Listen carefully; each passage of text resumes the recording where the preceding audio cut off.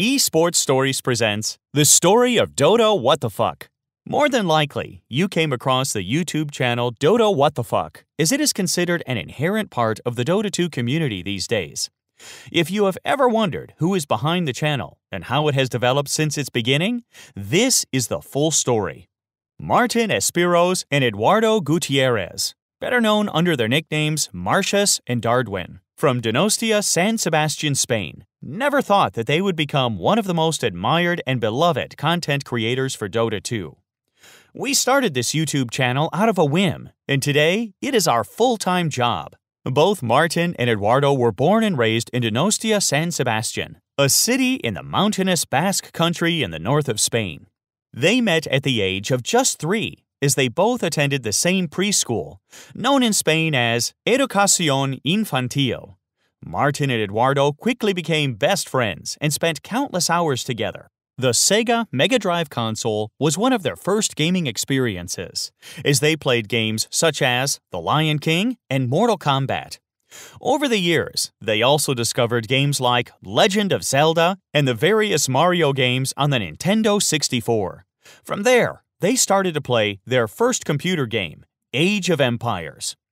Instead of playing football during breaks at school, Martin and Eduardo sat down together and drew labyrinths and dungeons with their own stories and gameplay. It was our big dream to create our very own video game once we grew up. However, at the age of 12, Martin and Eduardo's ways separated. Martin, on the one hand, was living a secluded life as he played hours and hours of World of Warcraft. Eduardo, on the other hand, was more into social activities, like hanging out with friends.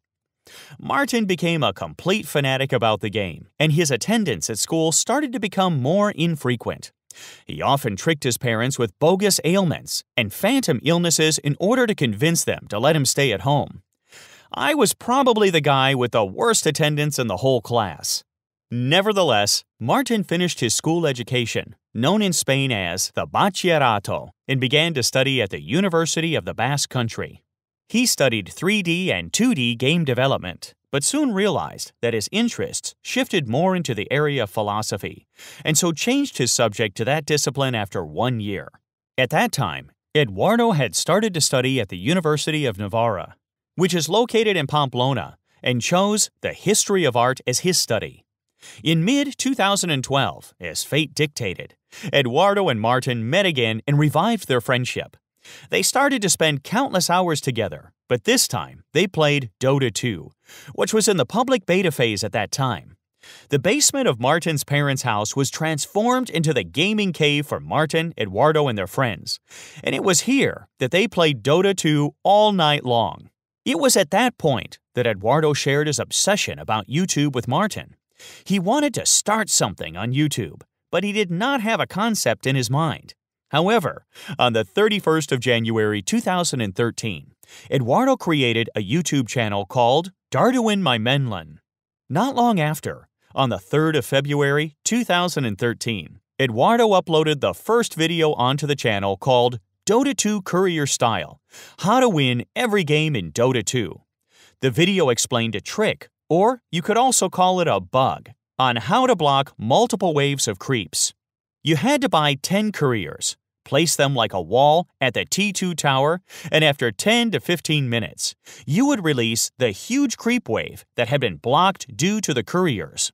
Consequently, all five players push the lane with the creep wave, and you should be able to win the game very easily with lots of laughs guaranteed. Only two days after releasing the video, the bug was fixed, and no one could ever try it again. Today, you won't find the video on their channel, as Eduardo used a song from The Lord of the Rings, and they decided to take it down due to copyright issues. A couple of days later, on the 14th of February 2013, the second video was released. It was called A Parody About Noobs. Eduardo showed the different types of noobs that exist in Dota 2 like the passive noob, the over-anxious noob, the fearless noob who walks alone into four enemies, and many more. On the 20th of February 2013, the third video was released, and Martin had his debut on the channel. He played the song of the video, the main theme of Toy Story, on the piano, while Eduardo joked about various plays of absolute Dota 2 newbies. From that video on, Martin and Eduardo decided to not only work together on the channel, but also share the ownership to equal parts, as they got really motivated to have something they were both passionate about. It was not a video game we developed, as we used to dream when we were kids, but we had our own YouTube channel and it felt kind of similar. Martin and Eduardo decided to dedicate their channel solely to Dota, and so, they renamed the channel to Dota What the Fuck. Just one day after the change, they decided to remove the D, as they thought Dota What the Fuck was easier to pronounce. Initially, the channel was meant to be in Spanish, as Eduardo and Martin had found two different formats which seemed to be working fine within the Spanish speaking community. The first one was called Guías en uno minuto, the videos contained funny guides about the different Dota 2 heroes. The second format was called El Ultra Combo. Eduardo and Martin picked two heroes with a lot of synergies and tried to destroy the enemy lane as hard as possible. However, on the 25th of May, 2013, the two guys decided to launch a new format called Dota 2 What the Fuck Moments. They took two clips from funny moments that happened to Martin while playing Dota 2, and with much effort, edited them and accompanied the video with humorous music.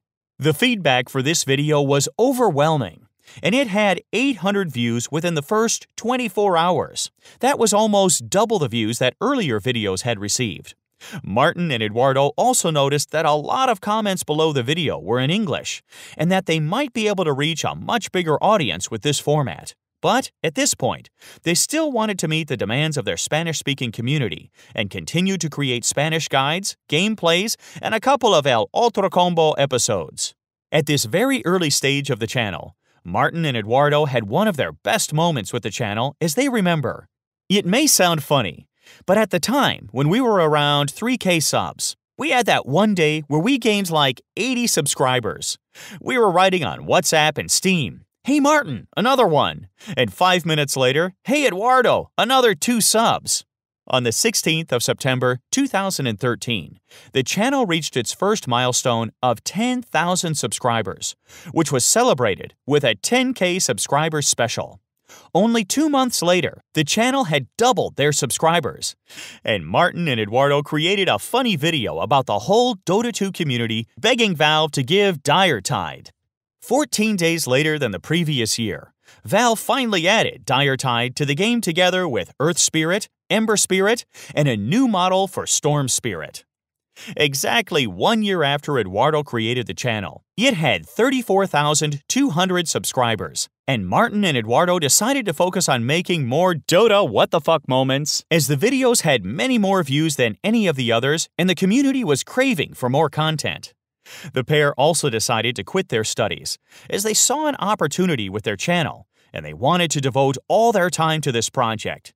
So, in the first quarter of 2014, the Spanish duo created 15 episodes of the admired Dota 2 What the Fuck moments, and they were able to hit 60,000 subscribers by the end of March 2014. Shortly afterward, in May 2014, the last episode of the format Guías en Uno Minuto, featuring Meepo, was published as the Dota What the Fuck Moments, had become too time consuming to edit and pick out suitable clips. From this point onward, the channel regularly attracted 1,000 to 2,000 subscribers every single day, and during mid May 2014, Dota What the Fuck reached their big milestone of 100,000 subscribers.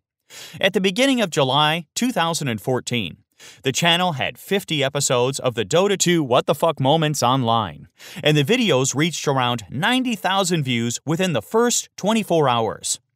It was simply awesome we found a way to earn our daily bread by doing something we love, and that our viewers enjoy to the maximum.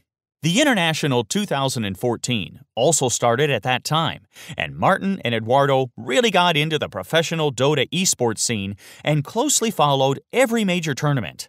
They then decided to make highlight videos about the TI games and published seven videos within 10 days. The series was quite a success, even though it did not have a great impact on the subscriber count. Towards the end of 2014, the channel had almost reached the 500,000 subscriber mark when Martin and Eduardo decided to release a new format called Dota 2 What the Fuck Rampage Compilation. The 24 minute long video showed some of the most unusual, funniest, and weirdest rampages you have ever seen combined with hilarious editing. Despite the length, it is now the second most popular video on the channel, and is therefore proved to be a format which can keep up with the Dota 2 what the fuck moments. On the 13th of February 2015, the 100th episode of the Dota 2 What the Fuck Moments was released. By this time, a video would reach around 200,000 views within the first 24 hours. Only 36 episodes later, on the 3rd of September 2015, the channel leaped over the magic hurdle of 1 million subscribers. Martin and Eduardo celebrated this big break with a 1 million special, which was one of the usual Dota 2 What the Fuck moments, along with a 3 minute long clip showing Martin and Eduardo celebrating on the streets of San Sebastian and rocking a nightclub with a pudge and a juggernaut face mask. We did not care a single bit what other people think of us.